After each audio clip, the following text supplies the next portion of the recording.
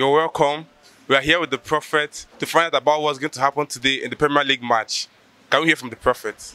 All right, thank you so much. Thank you so much. Chelsea, congratulations for you again. Um, see you in Europe. Man City, congratulations to you again. It's going to be a wonderful moment. Wow.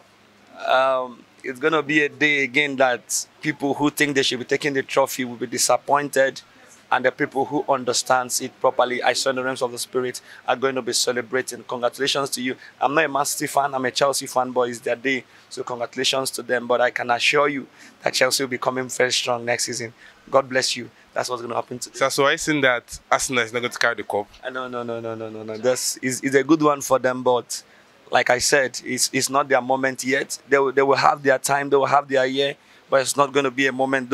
You're going to see a lot of one draw and one one draw, two one draw at the downside of the table, where you know teams are going to be having a lot of draws today. So just watch out for draws, two one scores. I saw two draws, I saw two one, two one, and then I am above three scores. I'm like three scores, not above, just three scores thereabouts. So you're going to be seeing what is going to be happening today. It's a good day for us, Chelsea fans. Let's celebrate. It's not what we want, but we believe that by next season we're going to be better. Thank you so much. So you've had it. The prophet has spoken. Let's sit there and wait for the results.